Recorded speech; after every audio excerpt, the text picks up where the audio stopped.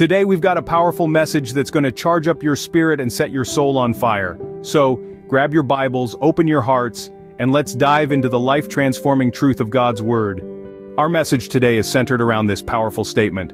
Tension is going to be there, but never forget who you are. A winner, a victor. Whew, doesn't that just resonate deep within you?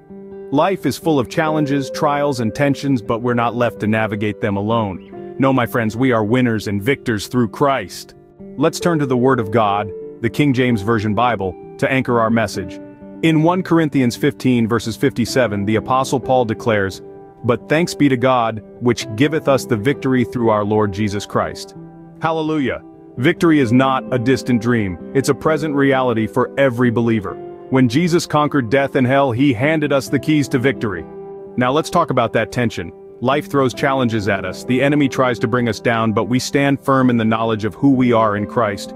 In Romans 8 verses 37 it says, Nay in all these things we are more than conquerors through him that loved us. Can I get an amen? We're not just conquerors, we are more than conquerors. That tension loses its grip when we understand that we are empowered by the love of Christ. Remember beloved, there is a battle and the devil will never forget it, but guess what? The devil's memory isn't the problem, it's his defeat that he can't seem to shake off.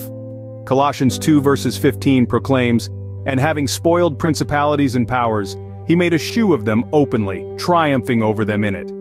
Jesus didn't just win, he triumphed openly, displaying his victory for all of creation to see. That's the kind of triumphant life he invites us into. The devil thought he had it all figured out, but Jesus went right into the heart of hell and snatched the keys of death and Hades. Revelation 1 verses 18 records Jesus saying, I am he that liveth, and was dead, and behold, I am alive forevermore, amen, and have the keys of hell and of death. The devil may have thought he had the upper hand, but Jesus turned the tables and now we hold the keys. So my brothers and sisters, the moment you accept Jesus Christ as your Lord and personal Savior, you step into a legacy of victory, you become a winner, a victor.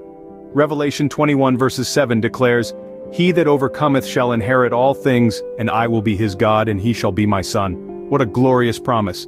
Through Christ we overcome and we inherit all things. If you haven't accepted Jesus as your Lord and Savior, today is your day of victory. Romans 10 verses 9 says, that if thou shalt confess with thy mouth the Lord Jesus, and shalt believe in thine heart that God hath raised him from the dead, thou shalt be saved confess, believe, and step into the victorious life that Christ has prepared for you. When you make that life-changing decision, you become a part of God's family, and His love and victory become your inheritance. So, my friends, embrace your identity as a winner, a victor, and live the abundant life that God has destined for you. You are more than a conqueror through Christ who loves you.